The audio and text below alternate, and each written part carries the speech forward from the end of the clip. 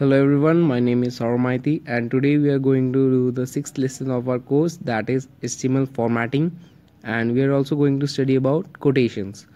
In formatting we are going to study how a format is applied and what are the different properties that we can use in our websites and in quotations we will read about the different quotations and about the direction of the text.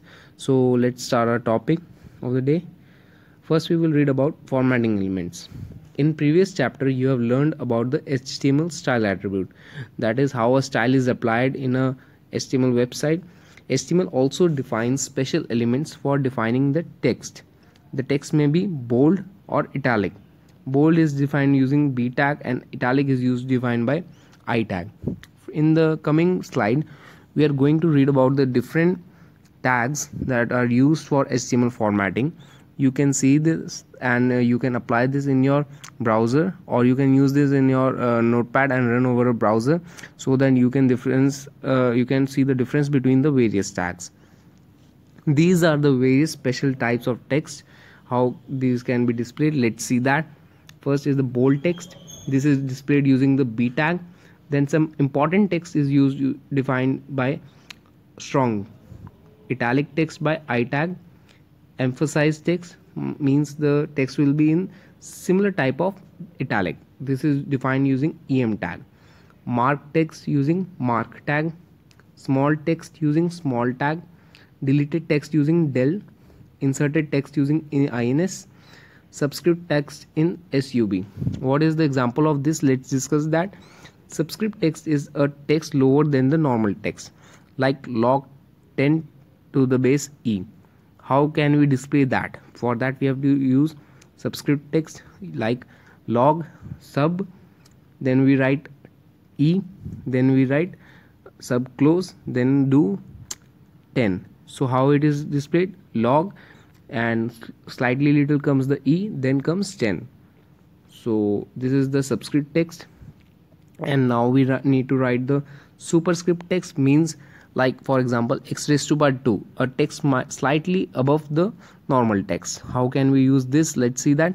We have to write x sup sup then we write 2 then we close the sup and then how, when we run this we see x raised to power 2 this is the superscript text.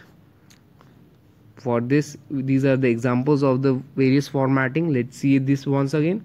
B this text is bold. B close strong this text is strong strong close i this text is italic i close em this text is emphasized em close h2 html small small formatting. H2 html mark marked formatting. P my favorite color is del blue red. From this a single line between the blue will be displayed means it is cutted from the between then P my favorite ins color is red. It will be displayed in another style if you want to apply that.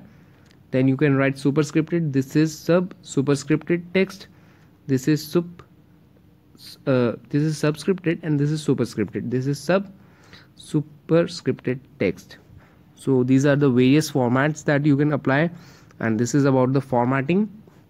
Now let's start about the html quotations. What are the quotations whenever you see a text uh, with double brackets or double quotes that is known as quotations. So let's see example how we can apply that. This is the example of quotations. P tag wwf's goal is to we use the q tag for the short quotation. Q tag build a future where people live in harmony with nature. Q tag close p tag close. When we read this in our uh, output we see the following output. WWF's goal is to double quotes build a future where people live in harmony with nature. Double quotes close single dot. So this is the complete line. If you uh, try to display uh, simply uh, simply with the double quotes applied this will not work. So you have to always use the short quotations tag that is the q tag. Now read about the abbreviations. What are abbreviations ABBR defines the abbreviations. Marking abbreviations can be useful information to browsers, translation systems and search engines. these abbreviations are the short form of their text how can we define that using this uh, let's see with the example p tag the abbr means abbreviation title title is equal to the in double quotes world health organization who abbr close was founded in 1948 p tag close. So what's the output of this? The output will be the who was founded in 1948 when you will move your cursor over who then in a small box above the full form of this will be displayed as world health organization. So this is the abbreviation tag. You can use this in your browser. Now let's read about bidirectional override what do you mean by bidirectional override? You can change the direction of your text in your browser if you want. So so for changing that you need to use the BDO tag. BDO tags defines the bidirectional override. The BDO element is used to override the current text direction. For this we use the direction like BDO bidirectional override dir is for direction. Dir is equals to in double quotes rtl rtl defines right to left. This text will be written from right to left. BDO close. So when you will uh, run this over your browser it will be displayed as tfel then space ot like this from here to here. So this is an interesting tag. You can use this in your browser to display something in opposite.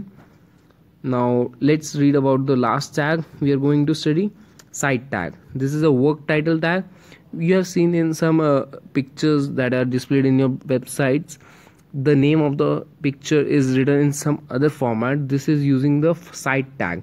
It is a type of italic tag only. You can use it in your browser. And here is the example of this. P tag cite the scream name of the painting cite close by edward munch painted in 1893 p tag close when you will read this in your own browser then you will see the italic format of this painting name the scream. So these were the topics to be covered here in this lecture. And let's take a summary of this what we have studied. We have studied about the formatting how the various formats we applied how we have studied about the quotations how quotations are applied. And then we have also studied about the abbreviations how abbreviations can be used and can be used to define the complete uh, term of the single sentence and then we use the various uh, cite tag that can be used to display the content in italics.